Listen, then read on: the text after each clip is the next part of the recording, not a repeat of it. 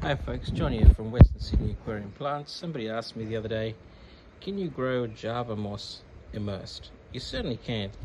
Uh, what you need to do is you need to get uh, a tub like this, um, get some peat moss, add some springtails, get these uh, moss uh, meshes that you can buy from Temu or Alibaba or eBay and then you take a you know, moss strand or a couple of strands and just whack them on the mesh and then put a, a root tab in here.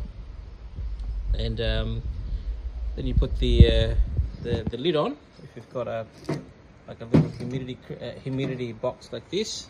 And uh, you leave it out in a shaded area. And you give it about six months. In six months this whole um, container will be full of moss. And the moss will probably grow up about an inch to two inch um, so, so today's day one. Let's see what happens in six months. Thanks.